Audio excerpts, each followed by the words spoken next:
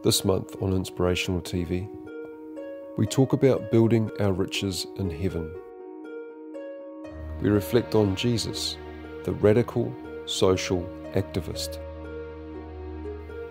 We are reminded to always be ready and dressed to serve,